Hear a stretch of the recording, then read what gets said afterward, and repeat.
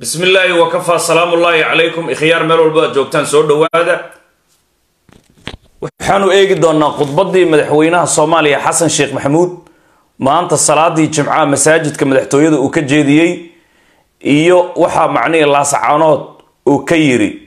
Madaxweynaha soomaaliya khudbadiisii ayaanu eegi doonaa waxaa stuudiyaha si toosa hadda inoogu jira sheekh qaasim sheekh saalax oo ka tirsan culimaa udiinka soomaaliyeed oo aada garanaysaan. Sheekh qaasim soo dhawow maxaan ka baran karnaa khudbadii madaxweynaha soomaaliya xasan sheekh maxamuud ee ku aadan laascaanood aadanow horta waa ku salaamayaa ummadda soomaaliyeed dhan waa salaamayaa daljoog qurbajoog iyo kuwa ku hadla afka mayga iyo kuwa maxaatiriga. Intaba waa salaamaya soo dhawow telefoonkana u dhawow sheekh qaasim maxaan ka baran karnaa khudbadii madaxweynaha soomaaliya maanta uu jeediyey laasacaanood ee duqeyn baa ka socota. Macnihii maxaan ka baran karnaa? Hadda madaxweynaha federaalka soomaaliya mudane xasan sheekh maxamuud iyo khudbadiisii maanta iyo khudbooyinkii hore iyo meelaha munaasibka ah aan ahayn weliba. Waxaan ku darayaa maanta meelaha munaasibka aan ahayn ee khudbooyinka uu ka jeediyo. Waayo ninka markuu madaxweyne federaal yahay waxaa loogu baahan yahay inuu saxaafadda hor imaado khudbaduu jeediyo su'aalo la weydiiyo dadka waxay tabanayaan ama ummadda shacaartooda meeluu dareemayo inuu tagay ahayd sida asigana loo dareensiiyo ummadda soomaaliyeed qurbajoog daljoog daljire intaba in dareenkooda ay tusaan wariyayaasha ay ka mid yihiin saxaafadda madaxa bannaan laakiin hase yeeshee madaxweynuhu waxyaabaha oo dastuurina aan ahayn oo uu ku dhaqmo oo lama dhahayo masaajidka wax ka qeyr badan ma leh.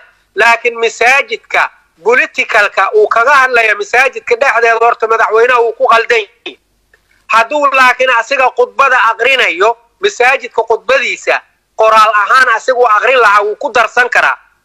Laakiin dowladda soomaaliyeed ee shacabkeeda asoo la hadlayo masaajidka oo shuhada la yidhahdo masjidu shuhadaa madaxtooyadu inuu mar walba khudbadiisa uu ku soo laabo sidaana aan loo weydiisan su'aalo sidaana asiga loo oran madaxweynuhu su'aal baan weydiinaynaa loo dhihin waa la ogyahay saxaafadda looma ogolaanayo waa masjid. Masjidkana adduunyada loogama doodo. Marka khudbooyinka horta meeshuu ku bixinayo brotocool ahaan madaxweynuhu ku qaldan taa horta waa inaan ogaanaa. Oo taa waxay noqonaysaa kalimatulxaqi yuriidu bihi lbaatil. Masaajidka meel ka wanaagsan ma jiro meel wax loogu doodo fiican ma jirto laakiin masaajidka dhexdeeda hadalkuu ku soo tabinayo asigoo madaxweyne federaal yahay in su'aalo la weydiiyo uu mudnaa. Haddana masaajidka inuu la dhex galo dabadeedna hadalo oo qalafsan ama sax ahayn inuu meesha ku yidhaahdo horta taas waa ku eedaynaya madaxweynaha federaalka waa midda ugu horaysa eedaha uu galayay ka mid taha waay madaxweynaha qadiyadda laasacaanood si toos muu u abbaaray mise uu ka jeesjeestay? Ra'yigaaga. Aadana waa khudbadii labaad oo laascaanood ama tan saddexaad masaajidka dhexdiisa uu ku soo khudbaynayo oo haddana uu ka jeejeesanayo. Khudbadan khudbadii ka horaysa wuxuu yidhi laba erey oo qalabsan buu yidhi oo ah inuu yidhaahdo jamhuuriyadda somalilan ama dowladda somalilan lagama filanayn ereygaas.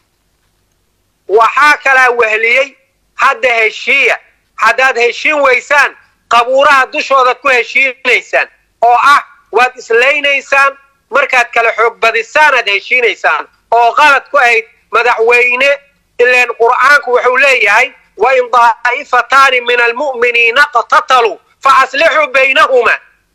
Laba koox muslimiin ah hadday dagaalamaan oo mu'miniin ah fa aslixuu ficlul amar wey isla markii dhexgala fa in bagad ixdaahuma dhexgalka labadooda mid hadday diido in la dhexgalo dhexdhexaad ay diido faqaatilu latii tabqi war midda dhexdhexaadka diidan qabta oo iskugu taga kulligiina xataa tafi'a ilaa amrillah.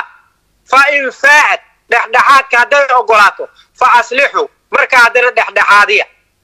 Hadda somalilan dhexdhexaadnimada waxaa ka mid ahayd in ay ciidankeeda kala dul tagto laascaanood ay garaacayaan. Way diidan tahay oo waxay leedahay anaa iskaleba waa dhulkayga waa dowladdeeday hoos imaadaan. Aan sax ahayn dowlad la doorta ma ahayn. Dowladda somalilan koob iyo sagaashankii wixii ka dambeeyaa la sameeyey. Labadii kun iyo toddobadiiba dadkan xoog lagu qabsaday. Taxaaluf lama aha. Dhaar kuma gelin. Wax kuma darsan. Xoog baa lagu qabsaday.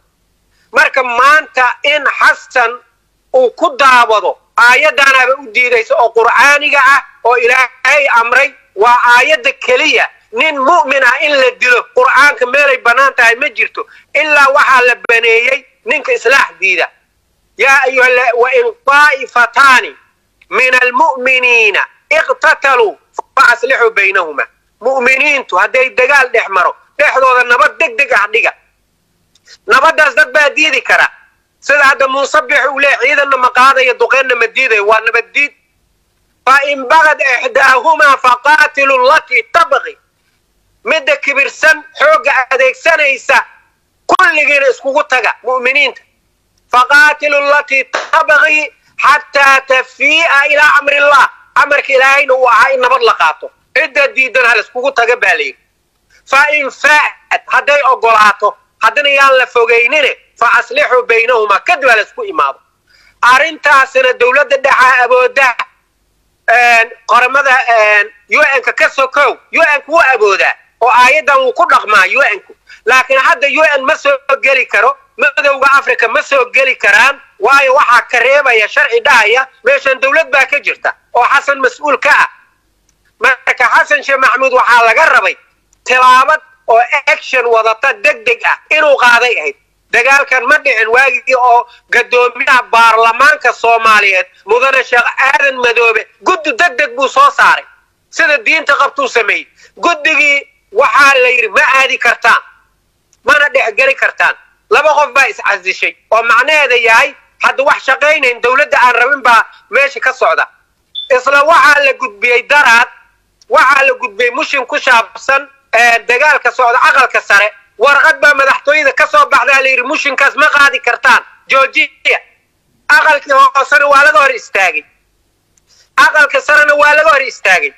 Labadoodana cid hor istaagi karta ma jirto ilaa madaxweynaha hor istaagi kara villa soomaaliya villa soomaaliya marka waxaa caddayn ah inaysan rabin dagaalkan inuu istaago maadaama aqalka hoosena hor istaagtay guddigiisa. Aqalka sarena hadda hor istaagtay daraad haddana madaxweynaha uu leeyahay khudbadiisuna hore ahayd ilaa aad ka dhammaataan qabuuraad isku salaamaysaan.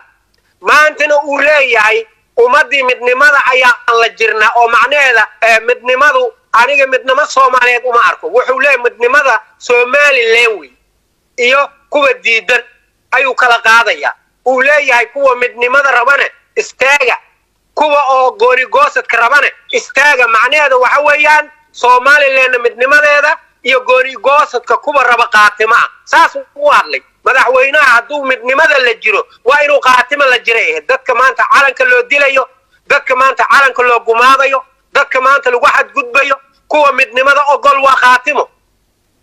Intaba ulama jiro. Waxaa kalaa weheliya khudbada madaxweynaha ku jirta nimanka reer waqooyi sharaf bay nagu leeyihiin buu yidhi. Oo xildhibaanadooda kama hadlayaan. Ilaan xildhibaanadu metela waqooyigu waa niman isaaq ah. Macnaheedu waa saas. Kama hadli karaan qadiyadda laascaanood markay ka hadli lahaayeen waxay yidhaahdeen midnimada somalilan hala ilaaliyo. Waatuu leeyahay ra'iisul wasaarihii hore ee xildhibaan hadda ah ee ninka la yidhaahdo qatar iyo wax magaciisa saas ahaa ra'iisul wasaarihii hore wuxuu yidhi jamhuuriyadda deriska ah waa in loola tashtaa maxay ahayd lagu wargeliyaa jamhuuriyadda deriska ama wadanka deriska noolaha ee somalilan buu yidhi. Baarlamaanka hortiisuu ku yidhi waa in xasaaniyadda laga qaaday ahayd haddaan laga qaadin xasaaniyadda macnaheeda waxa weeyaan jiritaanka somalilan dad u gaajaysan ogol ayaa dowladda ka mid ah gaar ahaan madaxweynuhu. Taasaa looga shakinaya oo in somalilan inuu go'do uu rabo. Because dhibaatada hadda jirta shacabka reer laascaanood haysta iyo baarlamaanka wax ka socda iyo mushinada la hor istaagaya oo in laga hadla la rabay dagaalka laascaanood oo baarlamaanka inuu ka hadla rabay aqalka hoose la hor istaagay guddigiisa aqalka sare shalay la hor istaagay iyo brofesor ismaaciil samatar ereyadiisa markaad eegtid aqalka sare oo uu leeyahay reer qurac baa na haysta baarlamaanka aqalka sare qabyaalad baa ka jirtuu yidhi cad anigaba dadkayga waa keensan karaa buu yidhi. Marka meeshu waxaa ka socdo waxyaabo aan loo dulqaadan karin ummadda soomaaliyeedna lagu majaxaabanayo ayaa ka socda fila soomaaliya iyo baarlamaanka. Sheekh qaasimow adoo raalli ah telefoonka u soo dhowow su'aasha aan ku weydiinaynaa waxay tahay madaxweynaha soomaaliya turkiga wuxuu yidhi dhaqaalaha loo ururiyo. Laakiin laascaanood dhaqaalo in loo ururiyo ma uusan sheegin maxaa loo qaadan karaa taasi? Sow laascaanood kama horeyso oo madaxweynehu u yahay turkiga. Hadda in adeerow khudbada madaxweynuhu iyo khudbada ra'iisul wasaaruhu iyo xafladda loo dhigay xasuuqi ka dhacay turkiga iyo markuu leeyahay ra'iisul wasaaruhu war maxay ku kala duwan yihiin xasuuqa laascaanood iyo kan turkiga? Oo macnaheeda tahay nimankaanaaba walaaleen ah ma loo gurmado laakiin ra'iisul wasaaruhu abood ma laha amarna ma bixin karo. Maanta amaradahan oo dhan asaa iska lahaa ilaan asigu waa fulintii wasiirkiisa arrimaha gudaha inuu amro. Waxay ahayd in loo gurmado. Gurmad way yidhaahdeen way ku dhawaaqeen. Waxay yidhaahdeen dowladaha hay'adaha ha u gurmadaan. Laakiin hase yeeshee waxaa cajiib ah. Madaxweyne soomaaliyeed oo dalbanaya hal dollar. Ilaan daraad wuxuu yidhi hal dollar